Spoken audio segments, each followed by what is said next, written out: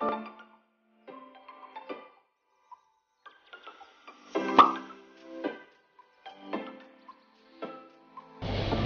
pada orang-orang lanjut usia dapat mengalami beberapa keluhan mata, antara lain pandangan buram, terus kemudian matanya ngerasa tidak nyaman, berair, gatal, rasa ganjalan. Untuk keluhan buram juga ada beberapa buram yang bisa dirasakan gitu. Misalnya buram seperti berkabut atau buram terjadi pada saat malam hari atau buramnya juga uh, hanya terjadi pada di bagian tengah saja sementara di bagian uh, tepi masih terlihat jelas.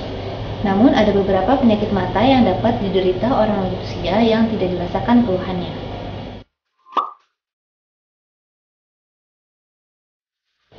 Apabila e, terdapat keluhan di mata, sebaiknya dilakukan konsultasi dan pemeriksaan ke dokter mata.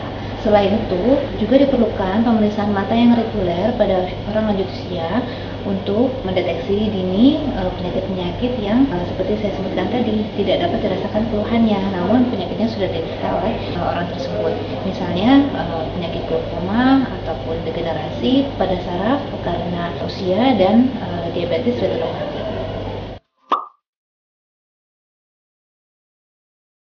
Uh, pada lansia perlu dilakukan uh, pemeriksaan mata sehingga apabila terjadi kelainan atau penyakit dapat dideteksi secara dini.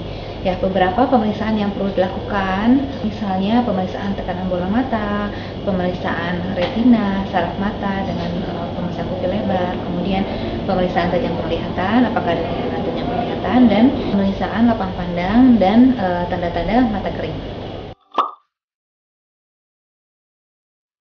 Beberapa hal yang perlu diperhatikan pada usia lansia untuk menjaga kesehatan mata antara lain makan makanan yang bergizi, uh, yang banyak mengandung vitamin A, beta karoten, dan antioksidan tinggi seperti lutein dan zeaxanthin. Kemudian juga uh, olahraga secara teratur. Olahraga ini penting supaya uh, aliran darah kita menjadi lancar sehingga peredaran darah di dalam bola mata pun juga baik. Lalu yang ketiga, uh, hindari sinar matahari langsung. Apabila beraktivitas di luar ruangan, gunakanlah kacamata pelindung uh, anti ultraviolet.